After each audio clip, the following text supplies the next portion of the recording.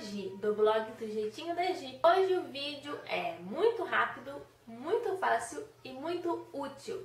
Útil para mim e útil para você que gosta de artesanato ou gosta de costura e tem um monte de miudezas para organizar e não sabe como fazer isso. Bom, uma das minhas metas para 2015 é ser um pouquinho mais organizada.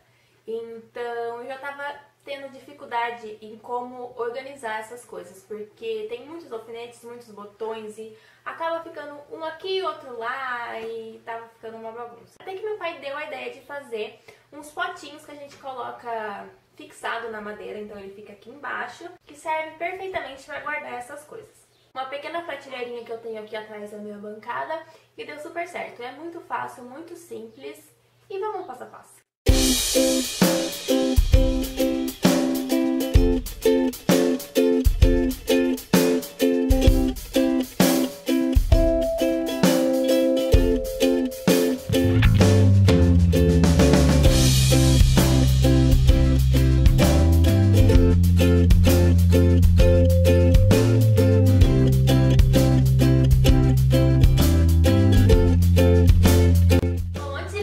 Pegar os potinhos na nossa prateleira, a gente precisa dividir o espaço. Então eu usei a tampa mesmo, eu circulei para saber mais ou menos aonde ia ficar e deixei um espaço de 4 a 5 centímetros.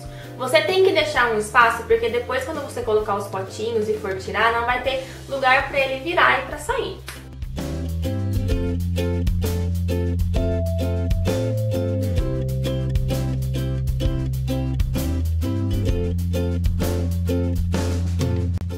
Sozinha, eu não usei furadeira.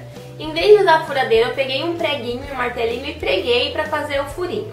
E depois com os furinhos feitos, eu fiz o furinho também nas tampinhas.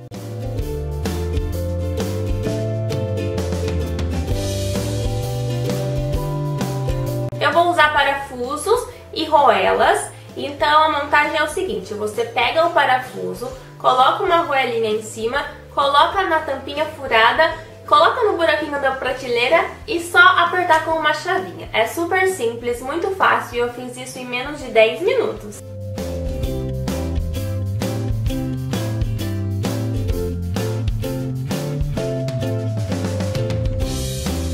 For fazer essa prateleira para guardar coisas maiores e um pouco mais pesadas, é legal que você use potes com tampas de um material melhor. Aqui eu usei de plástico porque, como eu disse para vocês, é para guardar coisas muito leves.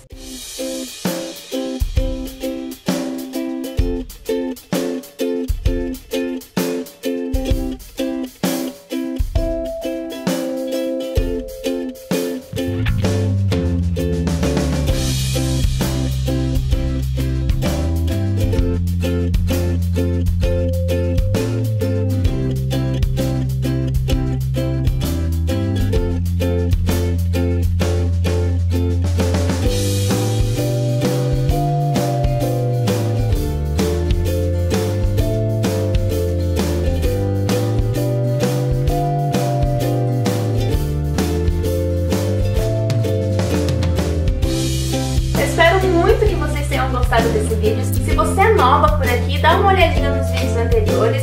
Aposto que você vai gostar de alguma coisa. Um beijo e até o próximo vídeo.